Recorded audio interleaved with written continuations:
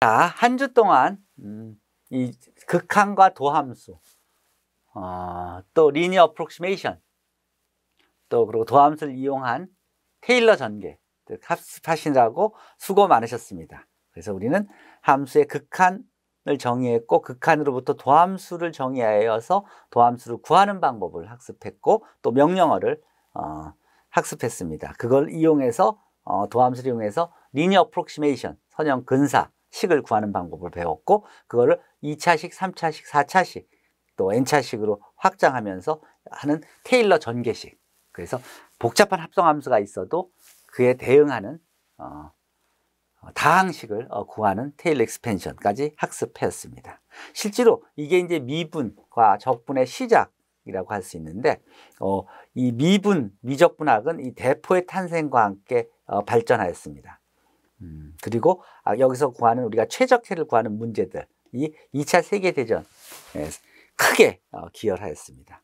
이 또 뭐 이런 내용들에 대해서 제가 어, 강의해 놓은 내용들이 있으니까 혹시 역사적인 발전에 관심이 있으신 분은 이 주소에서 확인하시면 어, 되겠습니다. 자, 복습하도록 하죠. 극한과 동함수. 이 주소에서 어, 복습하기 전에 이 주소를 한번 들어가 보도록 하죠. 이 주소에서 들어가 보시면 자 미적분학 우리가 배우는 내용. 아까 우리가 제일 첫 차시에 배운 1주차에 배운 함수의 그래프를 구하는 것부터 시작해서 함수의 그래프 그러니까 함수를 주고 프로팅 하라 그러면 금방 그려주죠.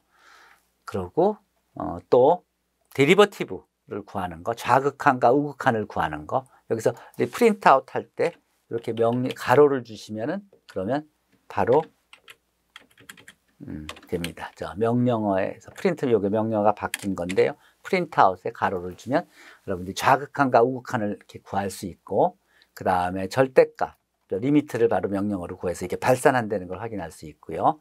x가 2분의 파일 때 또 도함수를 구할 수 있고 도함수를 어, 데리버티브를 구해라 그 명령어를 줘서 구할 수가 있고 또 도함수를 구해서 직접 이 그래프를 이제 확인할 수 있죠.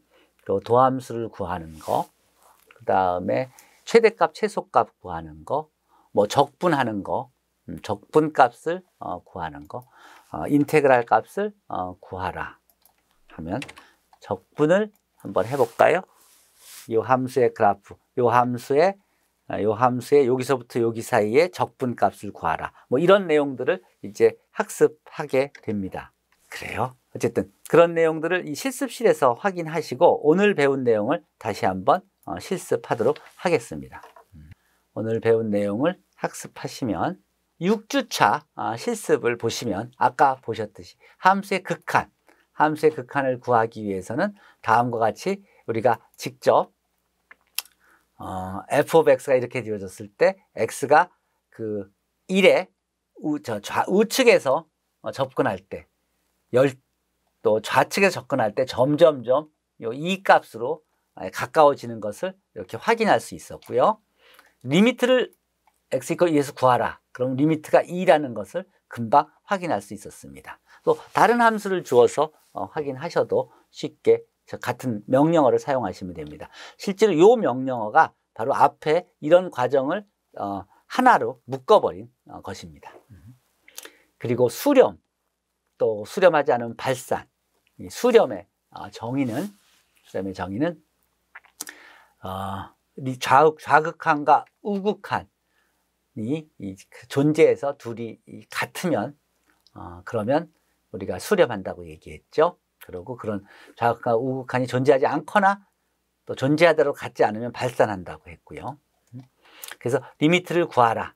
어, 그러면 이렇게 x가 어, 2에서의 g of x의 첫 번째 함수의 값은 어, 3분의 1 곱하기 사인 2로 여기서 정해지고 이런 그래프 같이 어, 이게 좌측은 x가 2로 수렴할 때 마이너스 4로 f of x 값이 수렴하고 또 x가 함수에서 x가 플러스 쪽에서 2로 어, 접근하면 f of x 값이 4에 가까워져서 이 좌극한과 우극한이 존재하지만 둘이 같지 않아서 이게 어, 수렴하지 않는 함수의 예가 되겠습니다.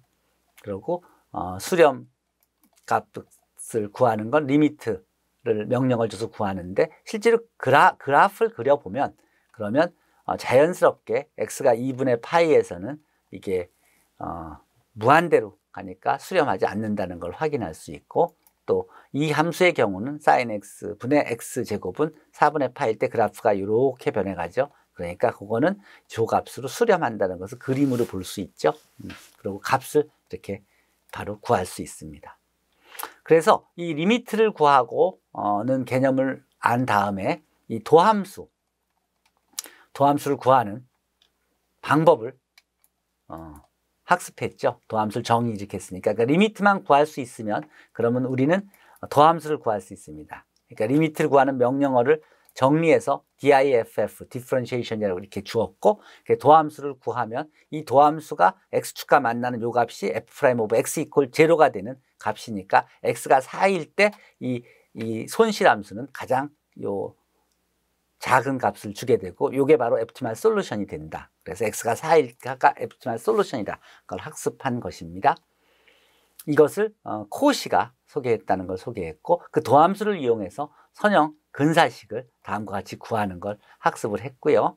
linear approximation. 이 linear approximation이 얼마큼 중요한지 그 근사값을 구하는데 얼마큼 중요한지를 소개한 다음에 마지막으로 테일러 전개식 1차 도 함수, 2차 도 함수, 3차 도 함수를 구해서 이렇게 근사 다항식을 어, 구하면 이 근사 다항식을 이용해서 다용해서 우리가 원래 f of x 값을 구하는 것보다 훨씬 쉽게 근사식을 이용해서 f of x를 구할 수 있고 그것을 소개한 사람이 이 브룩 테일러라는 것을 어, 소개했습니다.